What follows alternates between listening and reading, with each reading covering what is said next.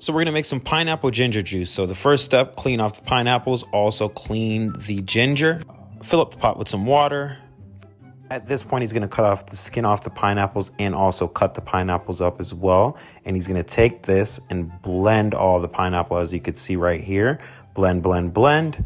Here's a bird's eye view of all the pineapple that was blended up.